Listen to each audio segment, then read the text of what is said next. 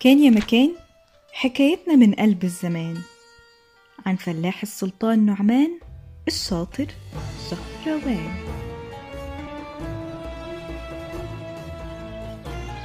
وزي ما بيحصل في كل البلدان كل فلاح شقيان ليل ونهار شغل يهد كل الأبدان.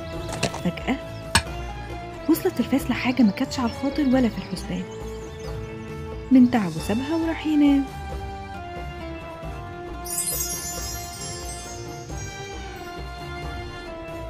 لما رجع للي وراه عينه ما صدقتش اللي شايفاه. بدل الفاس بقوا مية فاس وقال لنفسه ده سحر ولا إيه يا ناس؟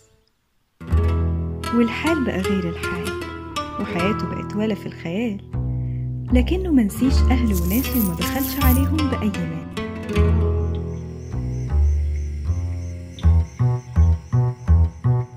لما عرف النعمان بحكاية الفلاح اللي كان غلبان هتف وصرخ بصوت كرع.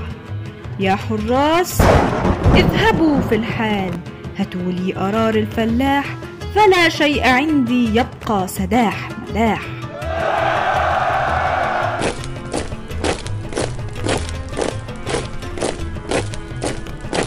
ولما بقت بين إيديه أصابه الجشع.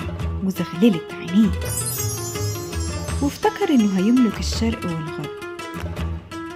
ومن نحسه في الجرة اتقلب ومن يوميها يا ولدان اختفى النعمان. وصدر فرمان في الحال بعزل جرة شهروان.